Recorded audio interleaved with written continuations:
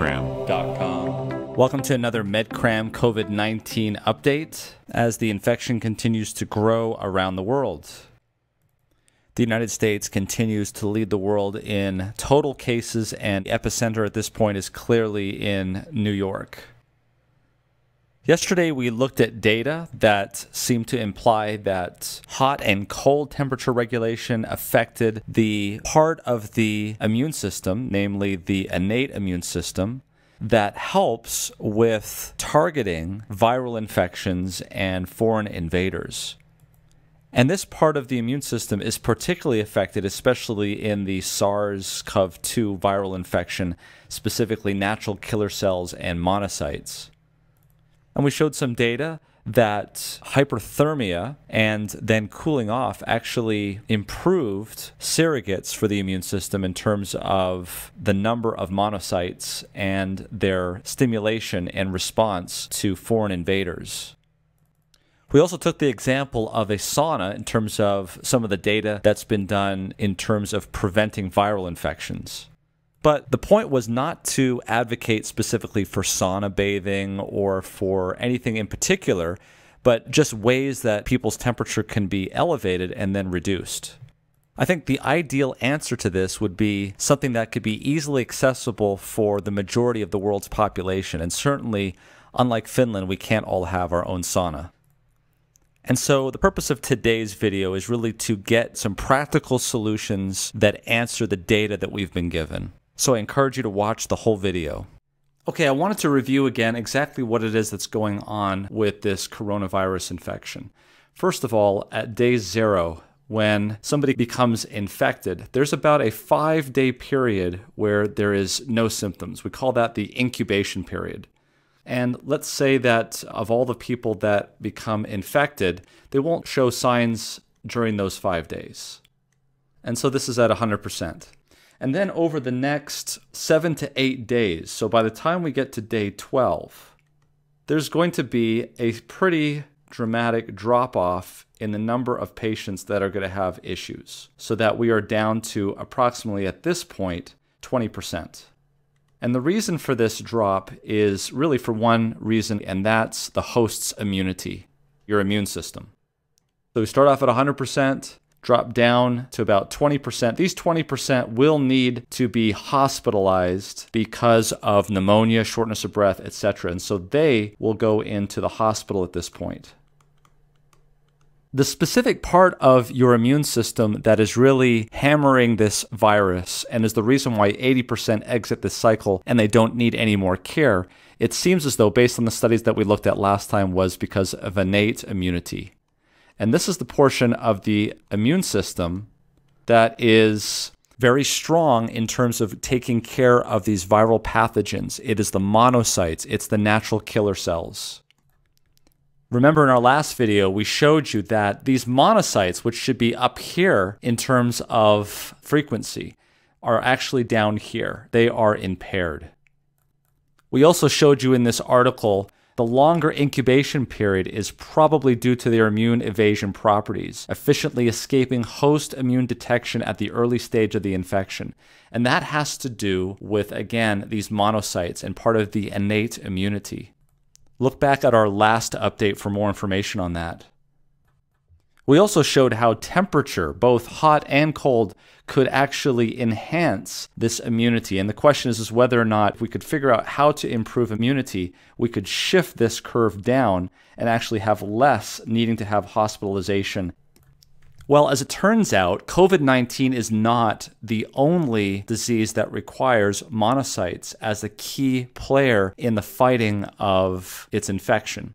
Here's a paper that was published less than a year ago in Frontiers in Immunology.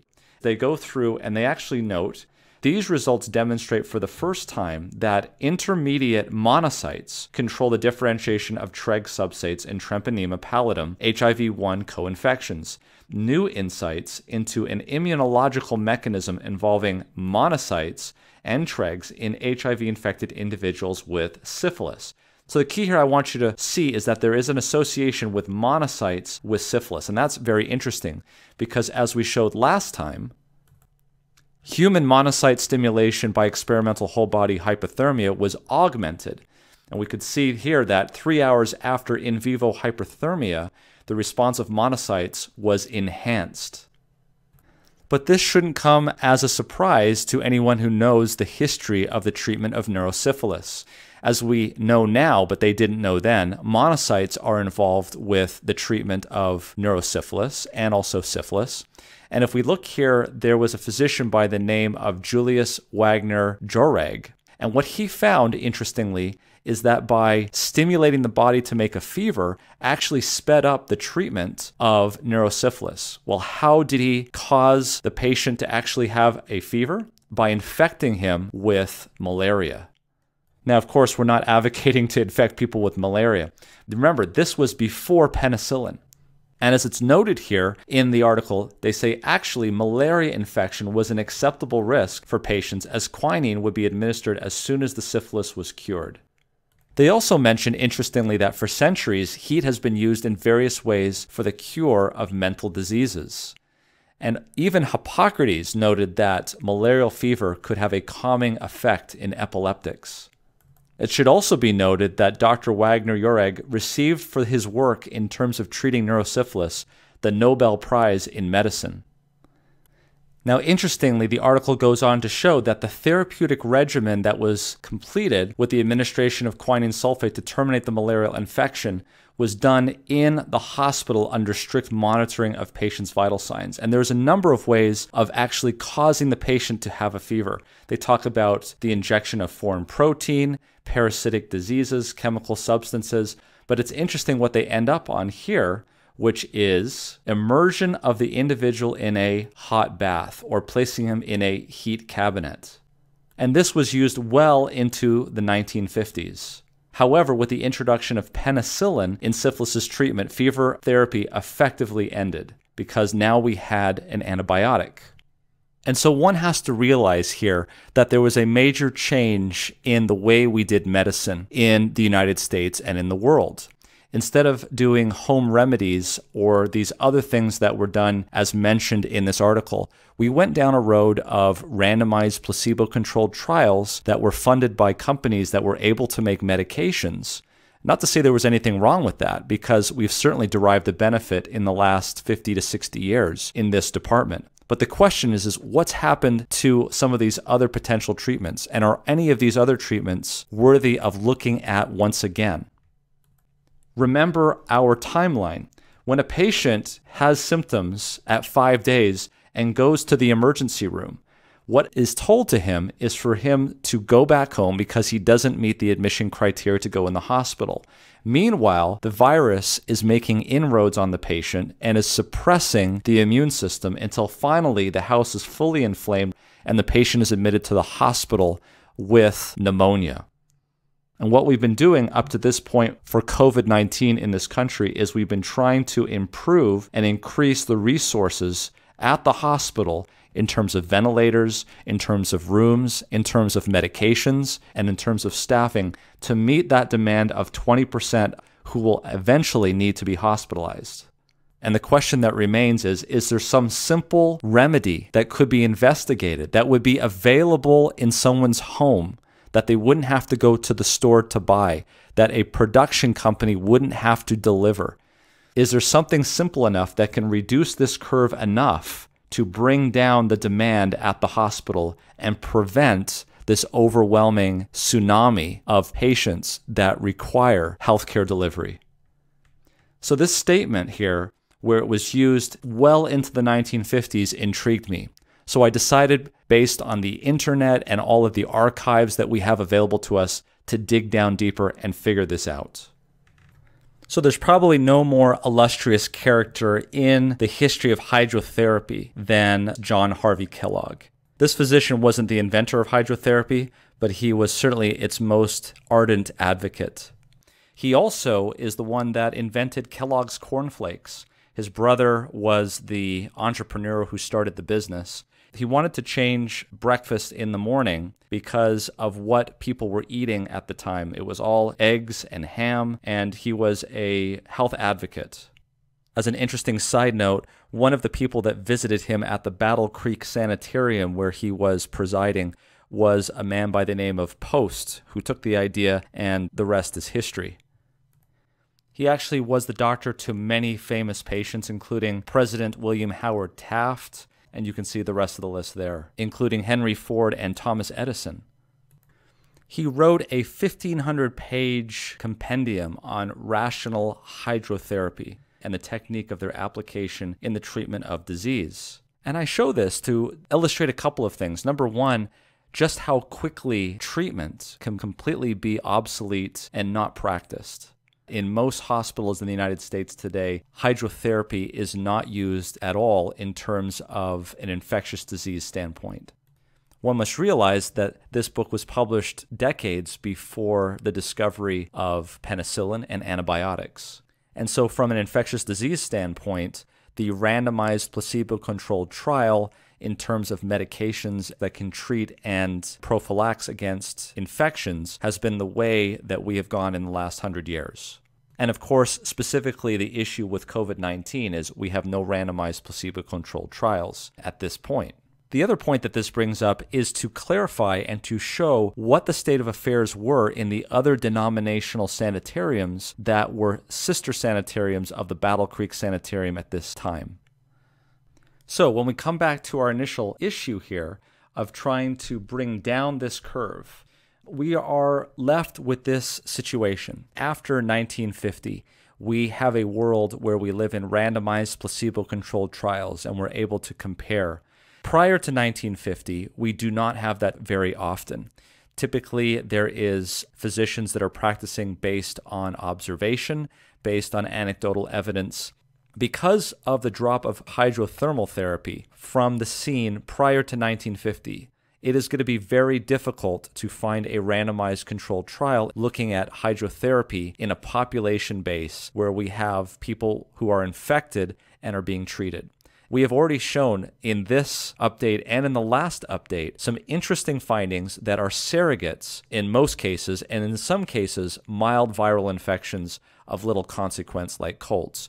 The question, of course, is can hydrotherapy or hydrothermal therapy or temperature regulation affect COVID 19 in any way, shape, or form? And unfortunately, I don't think we'll ever have that answer. What we can do is we can look at next best scenarios. And that's what we attempt to do next. So, this is by no means a medical journal. In fact, it is a religious periodical published by the Review and Herald Publishing Company. But in its 1919 edition, there is an article written by Dr. Ruble, who was the medical director of the New England Sanitarium in Massachusetts. So, this is what Dr. Ruble had to say in the height of the Spanish flu pandemic in the northeast of the United States. He says here that the infecting agent of influenza, whether germ or virus, has not yet been identified, and there is no laboratory method by which it can be differentiated from a common cold or bronchitis or other inflammation of the respiratory tract.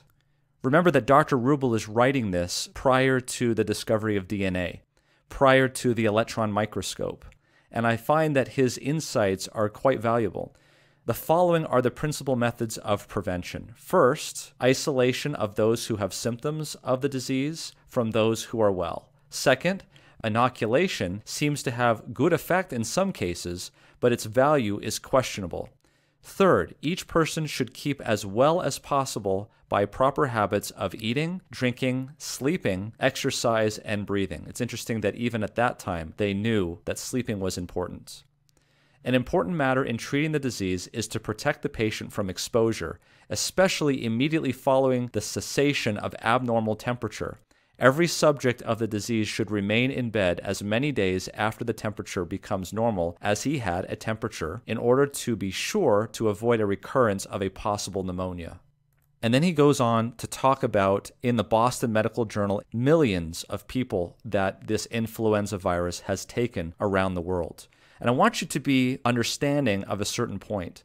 In these days, there was no intensive care units, there were no ventilators. There were no ICU nurses. There were no intensivists.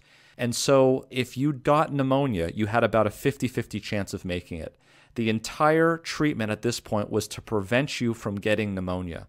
I find that an interesting dichotomy because today, if you go to the emergency room, they will tell you not to come back until you do have a pneumonia. And then they can treat you with antibiotics, with an intensive care nurse, with a respiratory therapist, and if needed, a ventilator.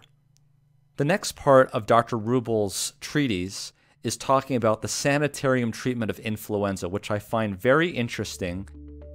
So, what Dr. Ruble describes is two situations the situation in the army camps and the situation in the sanitariums in New England. And so, the army camps, remember that these were soldiers coming back from the First World War and bringing with them, unfortunately, the Spanish flu epidemic, which became the pandemic.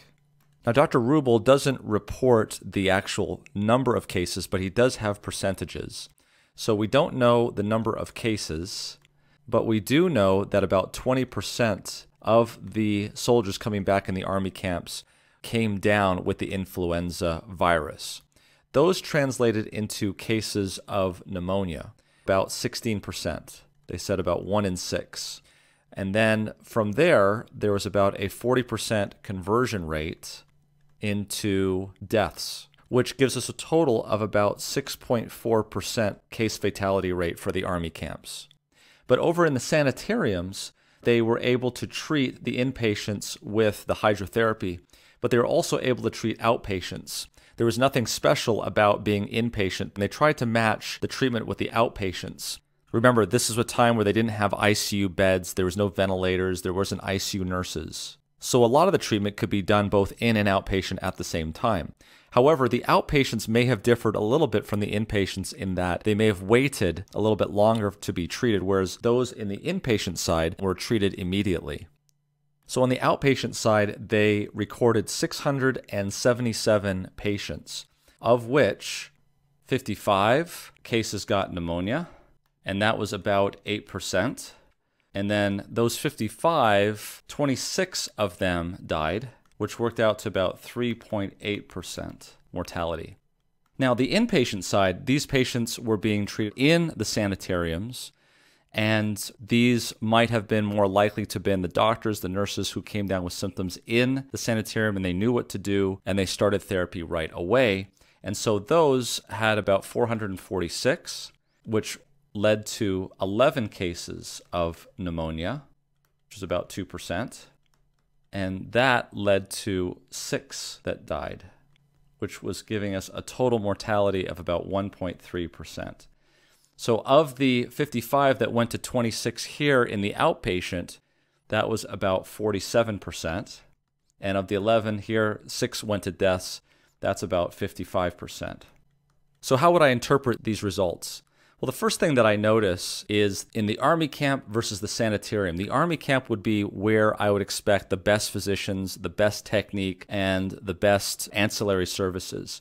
And for those patients that developed pneumonia, you can see here that the Army had the best outcomes. However, how many actually developed pneumonia? In this case, 16% developed pneumonia in the Army camp, 8% as an outpatient, and 2% as an inpatient you can see that the hydrotherapy or hydrothermal therapy, because they used hot and cold, was the best at reducing the incidence of pneumonia. And you've got to remember that in this day and age, pneumonia was a death sentence pretty much. And so everything was done to prevent the patient from getting pneumonia. You remember what Dr. Ribble said about making sure that the patient laid in bed and still so that they wouldn't get the secondary infections that cause pneumonia. Remember, this was before antibiotics.